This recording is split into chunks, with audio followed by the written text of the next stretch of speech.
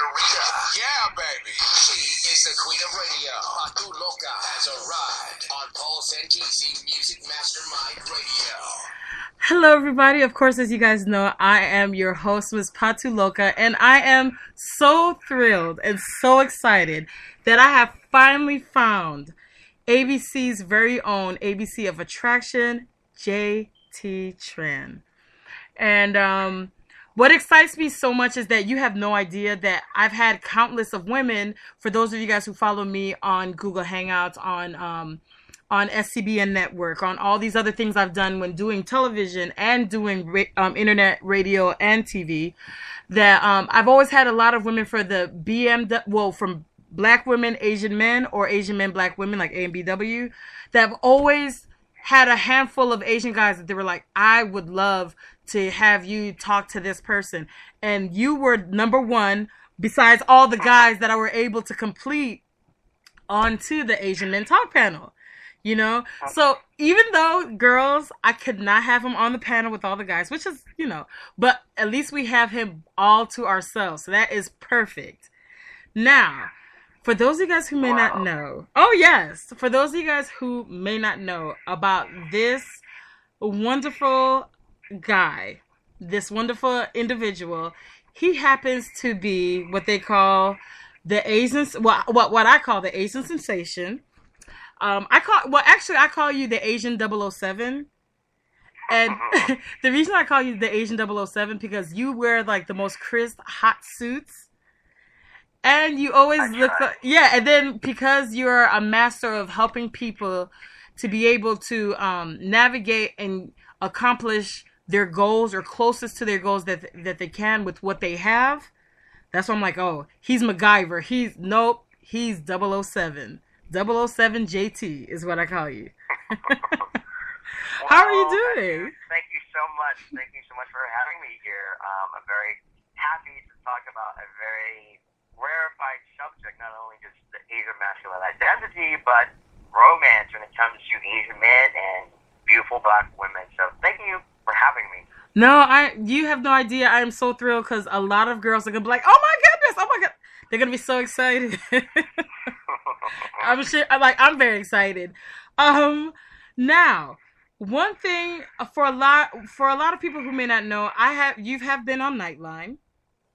Mm-hmm. And not only have you been on Nightline, you have been on countless magazines and everything like that. Mainly because of your the ABC of attraction. So, do you mind breaking down what ABCs of attraction is? Well, the ABCs of attraction stands for both my company and the system, uh, the foundation that we teach our students. So, I like to refer to it as a holistic system in the fact that it addresses different areas of what we call quote unquote game.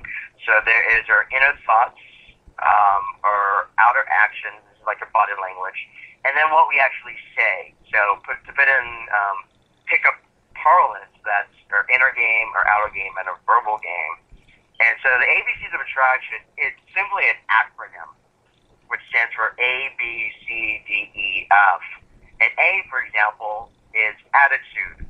Your mental attitude before you even talk to girl to the girl, because as Sun Tzu said, the battle is lost um, you know, before it's even fought. But what are you thinking? Are you already kind of nervous? Or are you, are you, you have a kind of a negative attitude? Or you like put women down? Or do you put women on a pedestal? Like, what are you thinking before you even talk to her? And then the other A, because each letter stands for like three different components, is attract. Because attraction happens before you even open your mouth. You know, your walk, your talk, you know, how you move, how you look, your quote unquote swag right? Mm-hmm. And then finally, the actual approach. What do you say when you talk to the girl, right? So even before we teach them how to talk to girls, we teach them all this other stuff, like how to kind of correct the limiting beliefs inside their brain, and then how they should move and present themselves physically to out of confidence and then finally we get to the talking. And so there are those six letters A, B, C, D, E, F, and even the, my most foggiest Asian student who can barely speak English, they will still know their ABCs. Um, and each, each letter has three components. And so that way, I am teaching my students a very well rounded methodology so that everybody can learn it. Because I can't assume that every student is coming in at the same level as everyone else because I teach a, a wide array of Asian characters, whether they're born here in America and six foot tall and good looking Asian Americans, or they're some fobby Asian guy from China who can barely speak English. So I have to give them like a proper foundation of interpersonal communication. So that's what the ABCs is. And it came about when I had uh, this blog called the Asian Playboy blog, and it gained this following until one day this Chinese Canadian mother called me up to help out her son, who was like 18 years old, who had been harassed by neo Nazis throughout high school. And so Oh, she wow. wanted me to help out her son to socialize, and like I felt it was such a huge responsibility. Um, and I told her, ma'am, for three days and three nights, I'm going to be the big brother you never had. So that's how I came up with the ABCs. Now, so far, um, I've seen you on Nightline and a lot of other, um, and I'm trying so hard to think of the other news report that I saw, um, where, which we're going to get into. NBC, yeah. hmm You've also been on NBC. You've also been on Weekly News. I mean, Weekly um, Magazine, and you also Yeah. do write for a magazine as well. Yeah, I mean, we're written for a couple of different magazines. I've been at Al Jazeera, um, New York Magazine, LA Weekly, um, Asian Week. I've been around. So for you, when it started with that mom that contacted you about her son, did you ever think, fast forward to now, that you would end up doing lectures and doing presentations nationally in events at conference at Ivy Leagues schools like University of Chicago, which you know I was Yeah. going to attend, but I moved to Florida. Then you have Yale, you have Harvard, you have University of Pennsylvania, and lots more. You actually do a tour. yeah, yeah. Um, I yeah, I, I never thought I'd be like the Ivy League teacher. You know, I, I never thought that this would be a business because at the time, all I did was start up this blog, which is sort of like Sex in the City, but for Asian men, right? Mhm. It was like my dating adventures and misadventures because at the time, you know, this is back in 2005 where blogging was a very new platform, right? Yes. And I was just putting myself out there because no one else was. I'm, I'm pretty sure I was like one of, if not the first Asian American like dating blog. Nowadays you have more and more of them, but I was the first that, that put myself out there. And I would put out like when I had success, but I also, and this is so different from everyone else, I also put the times when I was embarrassed or rejected or humiliated, you know, and I think that really resonated with people that sort of, um, you know, here's this five foot five Asian guy that is making some success, but he's facing like real life struggles that every other Asian guy is going through, and it just gained this following. And like I said, I never thought it would be a business, and the only time that I thought it would be anything anything like this was when this mom called me up and she's like, you know, I'll pay for your flight, I'll get you a hotel, and all the time I'm thinking, this is pretty awesome. I get to travel and help, and it says, and I'll pay you. I'm like, wow. Um, so I never thought of making a business. What it was is more of a call to service. Um, because unlike other businesses and other, other maybe pickup artists or dating coaches that get into this, it wasn't about getting girls. It wasn't about making money. It was about helping my fellow Asian brothers fight the stereotypes and fight the racism and fight the prejudice that we have to deal with on a daily basis. So for you, you're actually considered, and actually, you are actually considered like a master, world renowned, and everything about you. You, um, they say that a lot from what I've seen about you is that you help people to be able to recognize, reclaim, repair, and deflate self confidence and inadequate social skills, often adapted by those struggles with cultural or ethnicity, like ethnic type of backgrounds or whatever, to break everything down and start rebuilding from scratch. Like there is no nothing that you bring from the past into the new. You just it's like a factory. You break everything apart, start from scratch. Which is a completely different concept from when you hear where normally they always have a concept where they break you down to rebuild you with the same old supplies. Right. Which sounds Well, backwards well, when you think of it now. Well, it, a, a lot of it comes from the fact that um, before I did pick up, I was an aerospace engineer as a rocket scientist, right? And one of my jobs was, uh, you know, other than working in a mission control center or flying spacecraft was, I had to um, test spacecraft and the spacecraft payload on the ground, so like payload testing. And I would have to learn the system. I'd have to learn a very complex system. Um, and the way you do that is you break it down into very discrete elements. And I would have to teach other people how to operate the spacecraft.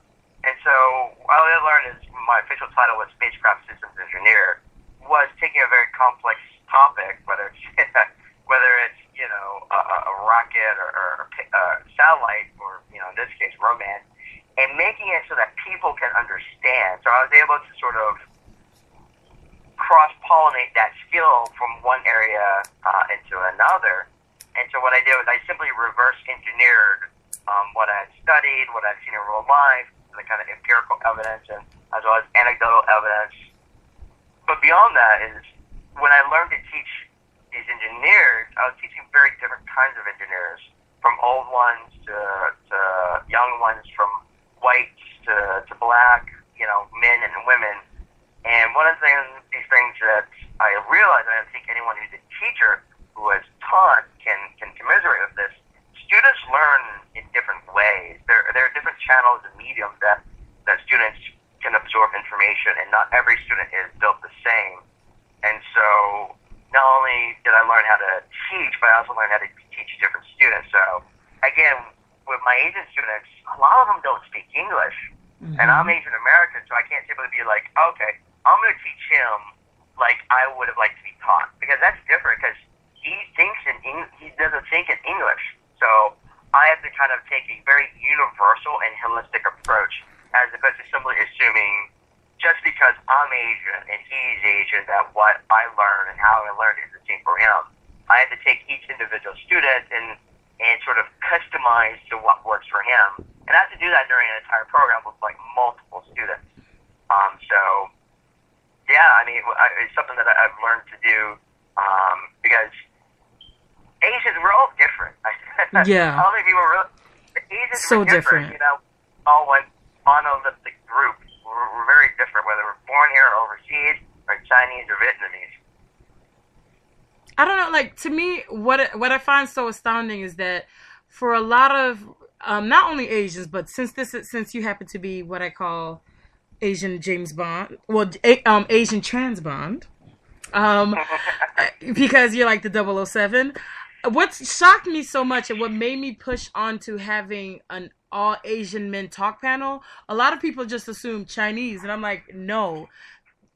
Asian is a nation is an ethnicity, but you have Thai, you have Japanese, you have so many varieties. It's not the same thing. It's like even Yeah, though not at all. There's different, yeah, and there's different religions amongst the, the Asian um, nationalities. Cultures. I understand makes it very confusing for, for women who are like Asians because the way you would treat a Thai person might be different than the way you treat a Japanese person. Mhm. Because you got your East Asian, you got the Southeast Asians, and then you got your your your South Asians, like your Indians and Pakistanis. So we do encompass a lot of different cultures, and there's a richness to it. But I also understand it makes it hard for girls sometimes. So I, I can commiserate. See, my number one tip to women when they're dating outside of their race, especially with someone who comes from a different um, background that is non-American, or their parents come from a different background that is non-American, like they're from another country, I always tell them the first thing you need to do is educate yourself about their culture.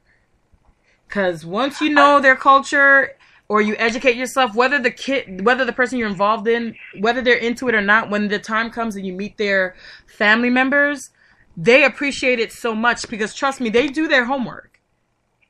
Yeah, yeah, absolutely. Um, like a little while back, I put out this video with uh, this other female coach friend of mine, this etiquette coach, and we talked about you know how to meet and date higher quality women because ultimately that's what my clients want is a high quality woman.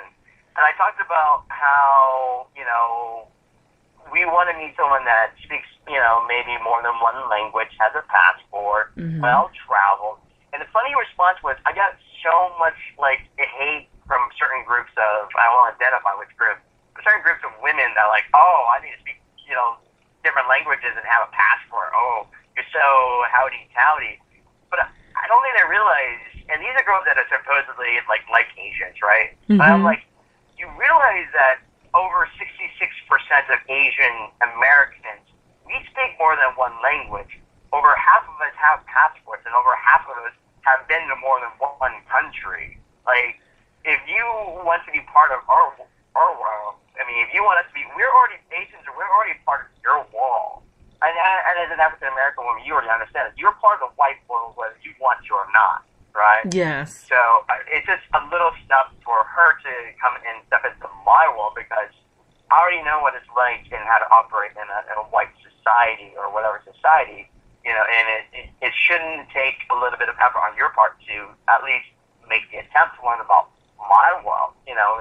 Not saying you should learn the language, but make the attempt whether you're white or you're black or you're Latina because as Asians, again, like, you know, as a minority yourself, you have to operate in the mainstream society, and so you have to understand all those cultural norms of, of a different like race within the state of white, right? hmm So it's you know, it, like you like you said, um, your tip, making that effort is is very important because um, it shows that you're open to it and that you don't expect us, the Asian guy, to do all the kind of the cultural work. Um, Mhm. not that you shouldn't hold him to that. You know, I, I think you should also educate him to whatever culture that you are a part of. But you know, as as an Asian minority, we're kind of used to like the media and the mainstream kind of um, turning us invisible. Yeah. Right? So when you recognize that and you respect it, I think that goes a long way. You know, the crazy thing for me personally speaking, dating wise, anytime I dated a guy, regardless if he was Asian, Latino, whatever, there has not ever been someone I've dated where either they were from the country themselves and came here in their 20s or like, you know, basically coming out of high school, going to college, or they were just like me where their parents came from overseas. Even though they lived in America, when you go into when you are welcome into the home, there's nothing American about the home. Like if it's a Dominican home, it's everything Dominican. If it's an Asian home, it's just all just Asian. Like that. And there's not been a guy that have not dated that didn't do his homework and it always made me appreciate it. And it always made my parents like them more. That it was just normal because I was always raised that way that no matter whom I'm dating, I'm always making sure to make the conscious effort to find out about the history, their culture, the possibilities Yeah. of religions. And the parents are like, she's really worldly. I like her. She's nice. And I'm like, whoo hoo, Yeah, extra yeah. stars for me. I think it, it, it helps, and it helps you win points with the parents and the family. Um, and you know, think because as Asians, I, I, you know, not that I'm completely understanding of the entire kind of like culture of, of one group or the other, but you know, I, I do have some understanding of, you know, like say I've, I've dated a couple Ethiopian girls, so I have a little bit of understanding of that. I dated white girls, I have a little understanding of like the Waspi culture. So when a girl makes an effort to to properly greet like your family member, or even just saying hello in whatever Asian language, that goes a long way. Um, and I'll tell like other girls this: this little trick uh, is if you ever meet the the guy's family, his parents, you know, learn how to properly greet um, in their own language, even if hello or whatever respectful um, you know phrase it is, because one of the things that's always in the back of the mind of the Asian parents, you know, brain is, okay, she seems like a lovely girl, but am I going to be able to talk to my grandkids, or are my grandkids only going to be able to, you know, speak English and only eat American food, and I have no way to relate to my own grandkids? You know, I don't think people realize that, but that's what Asian parents sort of think if an Asian guy is dating outside of his race is like, you know, this girl might be great for him, but can I talk to my own grandkids? Right? So when you show the willingness to be part of her culture, it goes a long way not only for him, but also his parents and family. Now, for you, personally speaking, what was your personal thought on AMBW? And for those of you listening, AMBW stands for Asian men, Black women. I think it's great. I've been in a couple. Uh, more specifically, I dated two Ethiopian girls. Um, I definitely encourage my students to be very open about whom they date because it can't simply be about just dating only Asian girls or only white girls. It's about having options with all types of women because, you know, beautiful is beautiful regardless of race. And I've had students that are, you know, I hate to say it, but they're, you know, they they have their own racist attitude, and I tell them, man, you know, just like you hate it when white people treat you with a racist attitude, like doesn't mean that you can treat other people with a racist attitude as well. So it's definitely something that I encourage all the time with my students. Um, although obviously, you know, the majority of girls out there, at least where we go, are going to be like white or other, but definitely when I see a, an attractive black girl at the bar or the club or wherever, I definitely tell them that's a girl that they should introduce themselves to. Now, have you ever had any person that you were helping um, with uh, um, who attended ABC of Attraction? Have you ever had one that had resistance about dating outside of their race, and once they actually did, and it actually blew up in their face that it worked out? Like they were so not like this is not gonna work. I no no no, and they just said okay, take it. I'm gonna take it, and it blew up to something that they never like blew up to a whole different level that they're like, thank you so much. Absolutely. Like one of my first clients, um, he ended up marrying a, a black woman. Uh, he saw her at a Starbucks and went up to her, and he was like this five foot nothing Korean guy, and he had only ever been in Korea and he moved to America, and he had never really expected to date black women because he's all just kind of white or Asian, right? Because that's Mhm. that's his reality, and that's where he lived. And then he ended up marrying a black woman, and I think there was one time um, another hobby Asian student of mine, you know, he was resistant to talking to a black woman because, again, he is from Asia and it's just not part of his reality. I tell him to talk to her, and he's like, you know, he's like telling me later he was so scared, not because of the black woman, but because the bouncer was standing right by him with this big black guy. And he thought, like, the big black guy was gonna beat him up because he was talking to a black woman. And he didn't beat him up, you know? Like the black guy like, gave him a high five later and he's like, Wow, like it's it's amazing. Like, you know, it wasn't as scary as I thought. No one picked on me, you know, the black guy didn't hate on me because I was still a, this attractive black girl. Attractive black girl liked me, so, you know, it opened his eyes.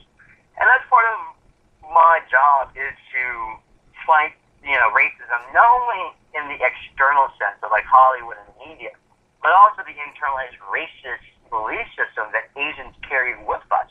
Yes. Um, yeah, because whether it's because you know they watch Hollywood and they they view themselves negatively, or they come from the old motherland and have the outdated racist beliefs. Um, but I had to fight it on both spectrums. So for you, what was the most negative stereotype that you had to endure or had to um, fight against when helping someone in the the um, in the source of finding love or getting to the next level of whatever they want to do? That was like, oh, what, what's the main one that's like, if people could get past this, they would be so much happier.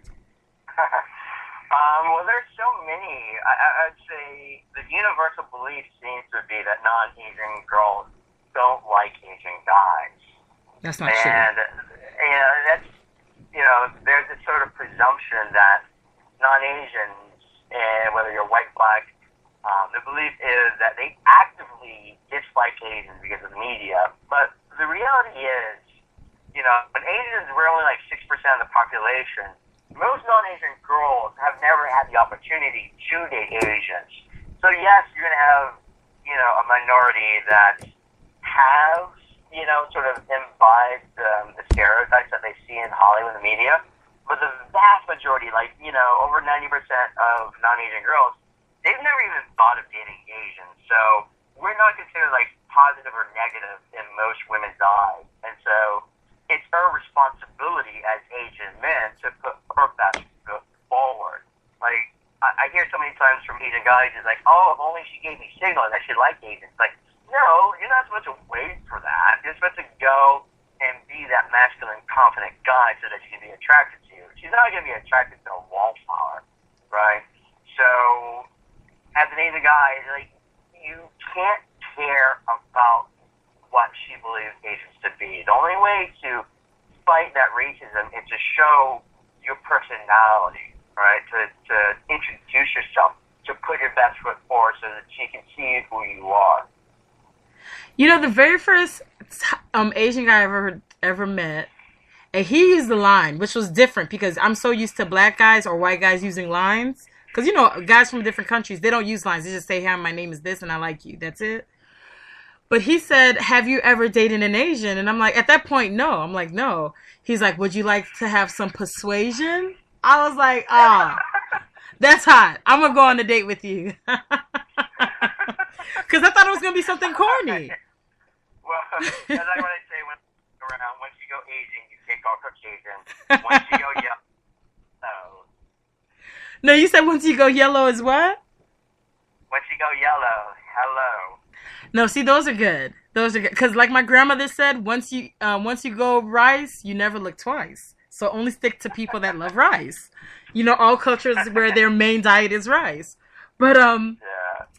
now what are your what are your atti- what is your attitude towards other Asian guys or Asian women who feel like no Asian people do not date outside their race? So this conversation that Miss P- Patu's having and Mr. Tran's having, I'm sorry, this is just stupid. This not it's non-existent. This just does not exist. Well, I, I'll run into this every now and then, um, whether it's like Asian guys or, or Asian girls. From the Asian girl perspective, I think Asian girls are what three times I, I forget the exact statistic, like three times more likely to outmarry than an Asian guy is. So yeah. that trend is already well on its way. But at the same time, there is a very real and physical uh, gender imbalance that's happening in Asia, where I think there's something like 28 million missing like Chinese women due to female infanticide, like you know all these you know because of the one child policy. Yes. So they they um they aborted female fetuses in lieu of like a male one. And again, this is kind of that old world misogynistic, chauvinistic attitude. But it has come back to bite us Asians in the ass where you have millions, literally just like 30 million more Asian men than there are women. So it doesn't matter if these people have that kind of belief for Asians should only stick to Asians. There are not enough Asian women to go around anymore. and the, as the Asian women that are here in America, they're very more likely to date like white guys than they are to date like Asian guys. So you know, I think what is it? One out of five Asian American men will never get married, and part of that is due to gender imbalance, and part of that is due to like how many Asian women are out married. So, yeah, there are these very real factors, um, cultural factors that, regardless of your belief systems, are pushing Asians to interracially date. If only for the sheer simple fact that there are not enough Asian women out there anymore. Well, since we're winding down on time, for those of you guys, please don't forget any and everything dealing with Mr. JT Tran. You will find all the information in the description box uh, down below. And you guys can always hear a re air of this and everything of updates dealing with the ABC of Attraction, Mr. Asian Playboy himself, JT Tran. You'll find updates where you'll see hashtag JT Tran. So that's all the updates you'll find when you do that. Now, um, is there any last advice you would like to give to those Asian guys that are kind of in the in the middle where it's like I would like to date outside my race, I'm not too sure. Those I types. would say for my Asian brethren out there that are on the fence, um, that your success is going to be a lot easier than you think. It is not as as painful as you might think it is um, because you can be a successful Asian man and you can have a successful relationship if you open yourself up. And yes, rejection is part of the reality, uh, but it is not as painful as you think it is. And there are, and I say this from not only empirical evidence, but also from the thousands of Asian men that have taught, that have gone up to meet all different types of women, from white to black, and the students that have dated black women and married black women, that African American women are very, very receptive to an Asian man that has the confidence to approach her. So your likelihood of success is, you know, the odds are in your favor for real. Thank you so much, and trust me, guys. Since there's so many of you guys out there, there's not enough women. You got, they need to spread out. trust me, the most beautifulest babies I've seen are those that are that come from different backgrounds. They're so gorgeous, especially you can imagine like a an Egyptian Asian or Korean Haitian or like they're just so gorgeous, just gorgeous. Yeah, well, they, they say interracial babies are the most gorgeous. Yeah. And trust me, guys, black women love you guys. You would be surprised how many black women are into KT and C pop music and movies and things. Like, you have no idea. So, um, thank you so much, Mr. JT007, for in talking to us about your ABC of attraction. And Thank you for um, having me. Oh no, I'm so excited. Because trust me, I'm even though I